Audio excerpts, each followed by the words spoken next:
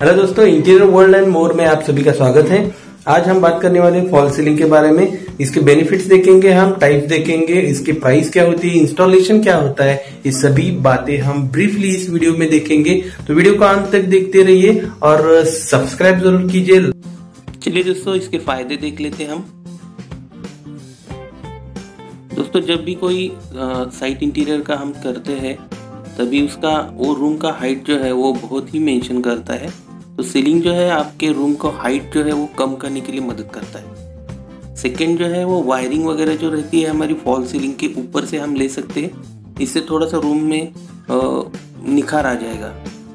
तीसरी बात जो है सीलिंग लाइट जो रहते हैं, उसको हम मन चाहिए जगह लगा सकते हैं ताकि हमें ब्राइट लाइट मिले वहाँ पे क्लियर लाइट मिले। Fourth thing is more important हमें किसी भी शेप में इसे ढाल सकते हैं। डिज़ाइन के हिसाब से, डिज़ाइनर ने जो डिज़ाइन दिया है उसी हिसाब से।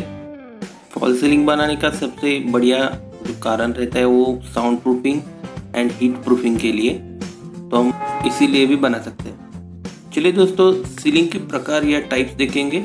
जिप्सम में आता है plaster of Paris PVC wooden में भी सीलिंग करवाते हैं लोग। वुडन में भी बेहतरीन दिखता है सीलिंग चलिए कुछ ऑन साइड मैं आपको क्लिप दिखा देता हूँ। जिप्सम सीलिंग का फिटिंग कैसा रहता है?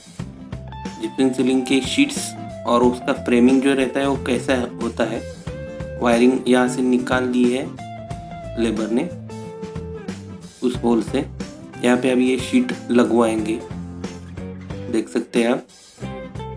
शीट्स के जो साइजेस है, मैंने आगे दिए हुए हैं। आप देख सकते हैं, एक शीट में कितना स्क्वायर फीट आता है। उसके सभी डिटेल्स मैंने आगे वीडियो में दिए हैं। वीडियो अंत तक देखते रहिए। ये अभी स्क्रूइंग कर रहे हैं शीट को।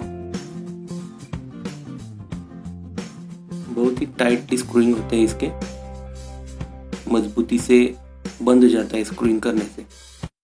अब आपके दिमाग में आ रहा होगा कि इसका पर स्क्वायर फीट रेट क्या रहता है। तो मान के चलिए, अभी मैंने दिया हुआ रेट वो फिक्स नहीं रहता। जिप्सम का जो स्क्वायर फीट रेट है वो 80 से 90 रुपए तक लगभग जाता है। ये देख सकते हैं आप शीट्स के साइजेस और पर स्क्वायर फीट के लिए कितना शीट्स लगने वाला है। इसका पूरा कैलकुलेशन जिप्सम पैनल की कैलकुलेशन दिए हुआ है यहाँ पे, देख सकते हैं आप। दोस्तों, अगर आप पीओपी सीलिंग या जिप्सम सीलिंग या पीवीसी या विडोन सीलिंग करने, करना चाहते हैं तो मैं कुछ आपको टिप्स देना चाहता हूँ यहाँ पे।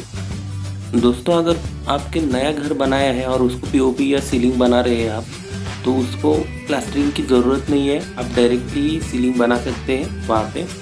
सेकेंड थिंग इसमें आती है आप डिज़ाइनर से ही डिज़ाइन बना के लीजिए फॉल सीलिंग का या इंटीरियर का पूरा। देन जो इंटरनेट पे इमेजेस मिलती है फॉल सीलिंग की उसको कॉपी मत कीजिए। हर एक को अपने घर में यूनिक कुछ तो चाहिए होता है तो यूनिक डिज़ाइन बना के लीजिए। देन सीलिंग में सिंप्लिसिटी बहुत ही मेंटेन करनी ज़रूरी होती है। जिस क्योंकि आप हेवी डिज़ाइन बनाएँगे तो पूरा फोकस हमारा सीलिंग पे ही जाएगा। देखिए, आप इस इमेज में भी देख सकते हैं, हमने सिंपल में डिज़ाइन बनाया है इसमें। बेडरूम का डिज़ाइन है ये। देन स्पॉटलाइट्स एंड कलर का भी ध्यान रखिए, जब आप सीलिंग करवाना चाहते हैं तभी। तो दोस्तों, और भी कुछ ऐसी टिप्स है, वो हम अगले वीडियो में कवर करेंगे।